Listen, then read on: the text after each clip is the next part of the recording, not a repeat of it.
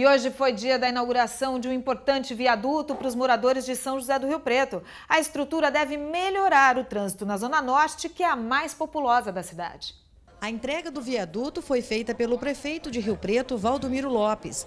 Foram quase 20 meses de obras e um investimento de 19 milhões e meio de reais. Esta é apenas uma obra do complexo de viadutos que recebeu o nome de Antônio Lopes da Silva, avô do prefeito Valdomiro Lopes. A obra é um investimento do Plano de Mobilidade Urbana, financiado pelo PAC. São quatro alças que ligam as avenidas Bernardino Seixas Ribeiro, com Hernani Pires Domingos e a Fortunato Ernesto Vetorazo, passando sobre o córrego Piedade. A região norte é considerada a mais populosa de Rio Preto, com 180 mil habitantes. E o trânsito por aqui sempre foi um problema.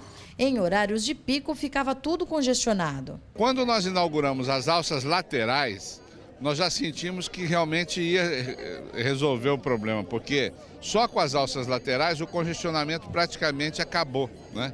Agora com é, essa pista central também, fazendo parte desse complexo, vai ficar muito melhor. Só neste trecho passam por dia quase 45 mil veículos. E esse viaduto dá acesso a vários bairros aqui da região norte.